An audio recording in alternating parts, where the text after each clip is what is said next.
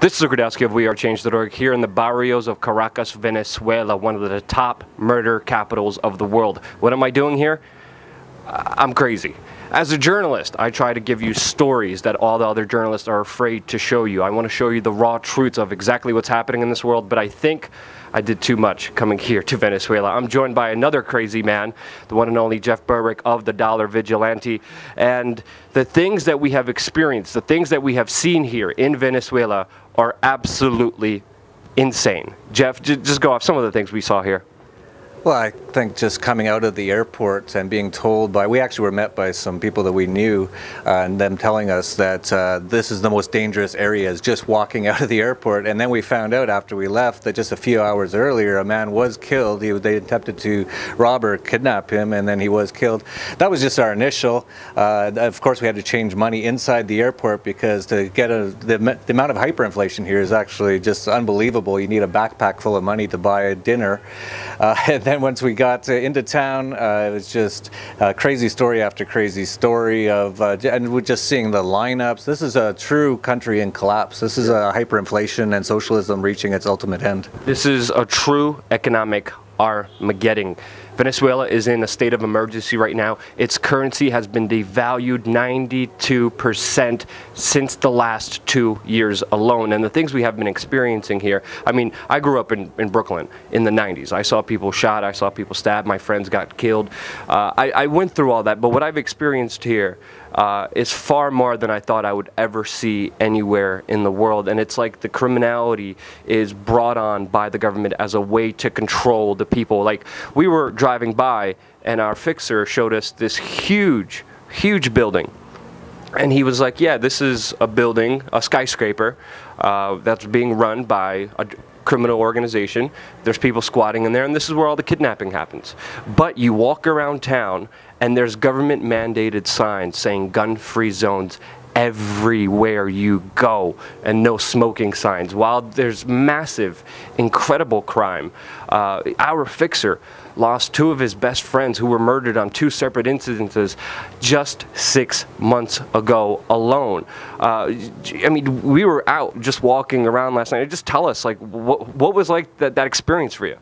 Uh, it, it's the first time I've really seen anything like this. Uh, it's truly uh, reaching the end of the socialism here, the, reaching its ultimate end that socialism always ends in.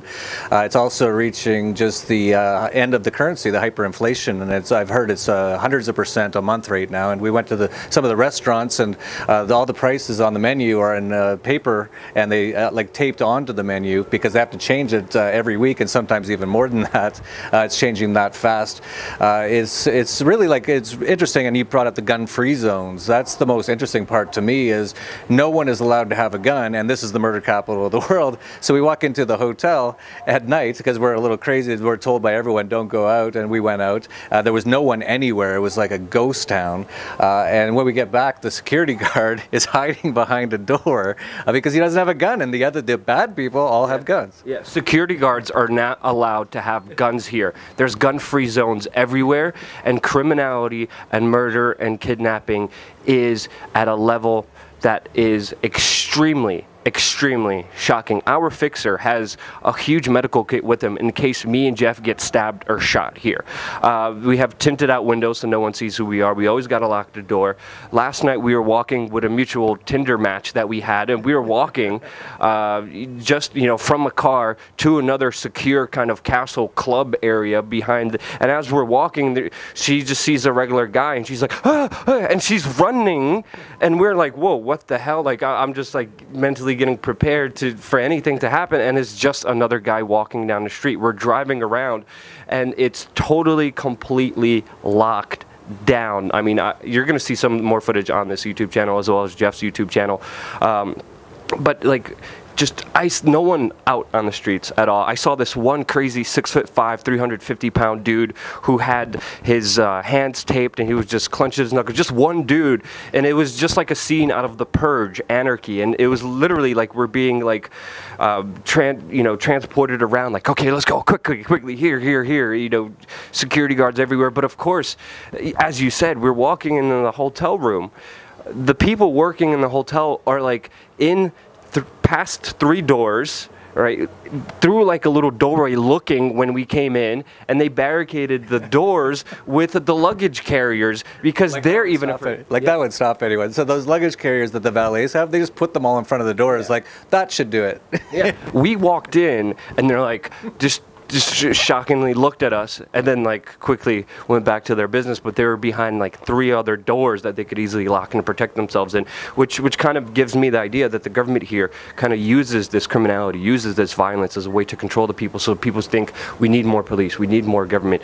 And the criminals here are running around just doing whatever they want, kidnapping whoever they want, murdering whoever they want with pure impunity. Meanwhile, the government sends in their agents to every business, to every private place, to every public park to make sure that everyone has mandated signs that say no smoking, no guns, and you can't be racist.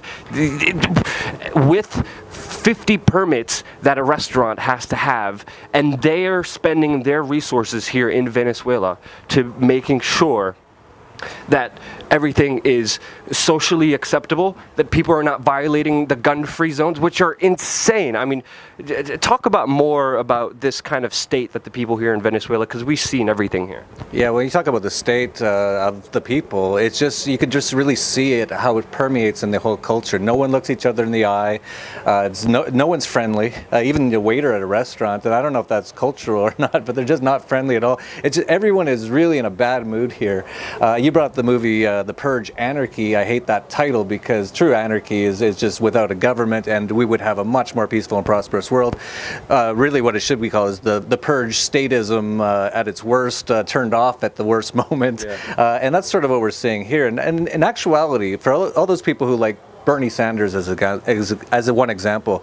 This is the uh, this is what he talks about. He talks about this is this is his country. This is what this should be like the perfect uh, uh, place to show what he wants because he wants extreme socialism. That's what they have here and has caused so much poverty. We're sitting here in the barrios right now.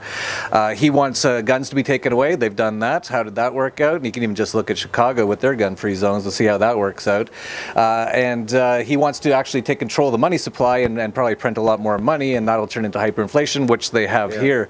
Uh, so this uh, really is is not that much different than what he's talking about. And I'm a anarchist, so I don't want. Uh, I'm not saying Donald Trump's going to be a heck of a lot better, but for those people who do like Bernie Sanders, come to Venezuela, check it out. It's uh, it's great. Yeah, so social planning at its best with lines down the block for just basic necessities, line down the blocks for public transportation that is insufficient, you know, and then a lot of people talk about the toilet paper with the government setting up a set price so poor people could afford a, um, toilet paper. N- there's no toilet paper in different stores. Uh, we were, you know, obviously we didn't face that same amount of uh, suffering as the average people here do, but we're trying to experience it as best as we can by giving you a full, raw, uncensored picture of everything that we are experiencing here. And it's really, it's also fair to mention that, you know, Venezuela is a petro state. The United States and Saudi Arabia overproducing oil are now also destroying this economy.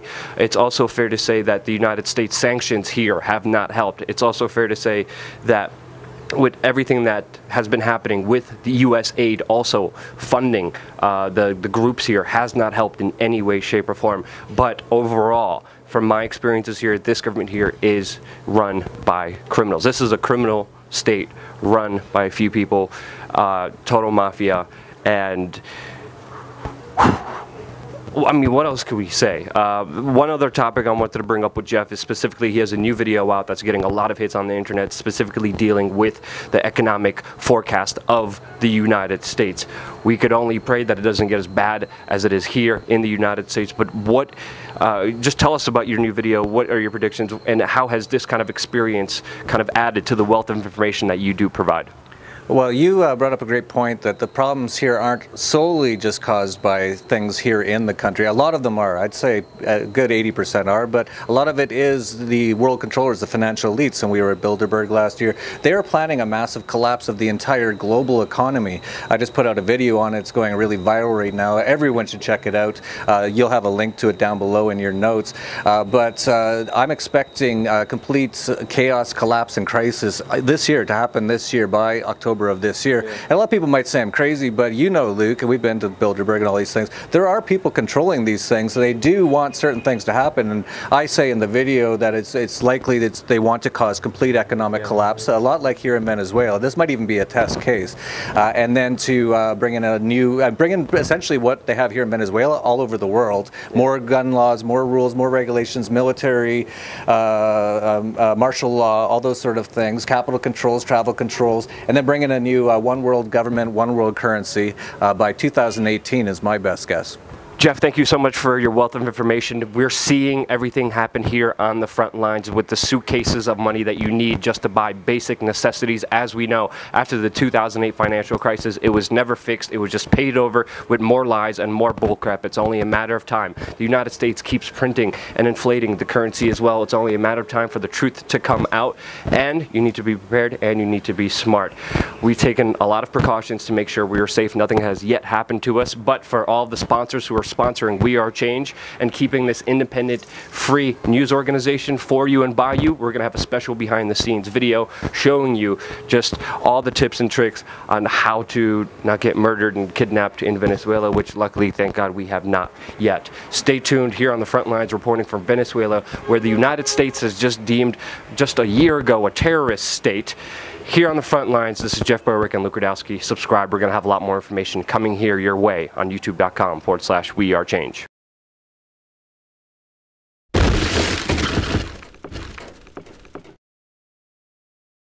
Oil is at a record low. It is actually now cheaper than the actual barrel that it comes in. Economic experts in the United States are saying that soon there may be a bailout of the U.S. oil industry as prices are going down. Tens of thousands of Americans are losing their jobs. Companies are going into bankruptcies. The global financial market is being scooped, and oil companies are just surviving off investments and loans. Now, and the things that we have experienced, the things that we have seen here in Venezuela are absolutely insane. Jeff, just go off some of the things we saw here. Well, I think just coming out of the airport and being told by, we actually were met by some people that we knew, uh, and them telling us that uh, this is the most dangerous area, is just walking out of the airport. And then we found out after we left that just a few hours earlier, a man was killed. He, they attempted to rob or kidnap him, and then he was killed. That was This is Rudkowski of WeAreChange.org here in the barrios of Caracas, Venezuela, one of the top murder capitals of the world. What am I doing here? I'm crazy. As a journalist, I try to give you stories that all the other journalists are afraid to show you. I want to show you the raw truths of exactly what's happening in this world, but I think I did too much coming here to Venezuela. I'm joined by another crazy man, the one and only Jeff Berwick of the Dollar Vigilante. You see right now, its currency has been devalued 92% since the last two years alone. And the things we have been experiencing here, I mean, I grew up in, in Brooklyn in the 90s. I saw people shot, I saw people stabbed, my friends got killed. Uh, I, I went through all that, but what I've experienced here uh, is far more than I thought I would ever see anywhere in the world. And it's like the criminality is brought on by the government as a way to control the people. Like we were driving by and our fixer showed us this huge, huge building. And he was like, yeah, this is a building, a skyscraper, uh, that's being run by a criminal organization. There's people squatting in there, and this is where all the kidnapping happens. But you walk around town, and there's government mandated signs saying gun free zones everywhere you go and no smoking signs. While there's massive incredible crime. It was just our initial uh, of course we had to change money inside the airport because to get a the, the, amount of hyperinflation here is actually just unbelievable. You need a backpack full of money to buy a dinner. Uh, and then once we got into town uh, it was just crazy story after crazy story of uh, and we're just seeing the lineups. This is a true country in collapse. This is a hyperinflation and socialism reaching its its ultimate end. This is a true economic Armageddon. Venezuela is in a state of emergency.